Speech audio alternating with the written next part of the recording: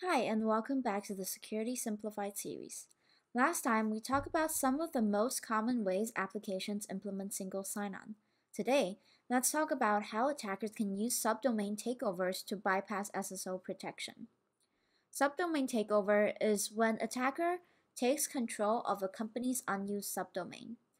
Let's say that a company hosts its site on a third-party service such as AWS or GitHub Pages. When this third-party site is deleted, a DNS CNAME record that points from the company's subdomain to that third-party site will remain unless someone removes it. So if the CNAME is not removed and the third-party site is now unclaimed, anyone who registers that site on the third-party service gains control over the company's subdomain.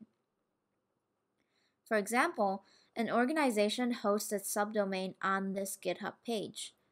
The company later decides to delete that GitHub page but forgets to remove the CNAME record pointing from the subdomain to the GitHub domain. Since the GitHub domain is now unclaimed, anyone can create a GitHub page at this location. And because the company's subdomain still points to the GitHub page, the attacker now has full control over the subdomain. This is called a subdomain takeover attack and it en enables attackers to pretend that they are the legitimate site and trick users into entering their credentials or downloading malware. Now imagine that example.com implements a shared session based SSO system.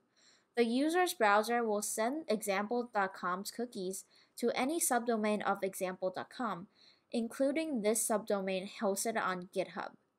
In this case, Attackers can take over the GitHub page and host a malicious script there to steal session cookies. They can then trick users into accessing the compromised subdomain by hosting it as a fake image or sending the link over to the user. As long as the victim has already logged into the SSO system once, the browser will remember and send over the shared session cookie to the GitHub page.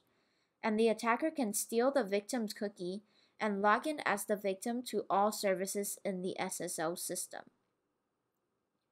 So what can you do to prevent these attacks from happening? If your application implements shared session SSO, then it is essential that you protect it against subdomain takeovers.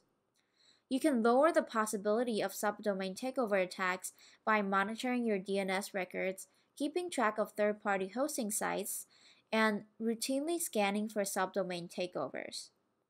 Finally, you can avoid using shared session SSO altogether. The nature of shared session cookies across subdomains means that the possibility of compromise is higher. You can use other SSO solutions like OAuth or SAML instead. Although they each have their own unique security issues, they have improved a lot over the years. And that's it for today's security lesson. Next time, let's talk about security issues that affect other SSO solutions.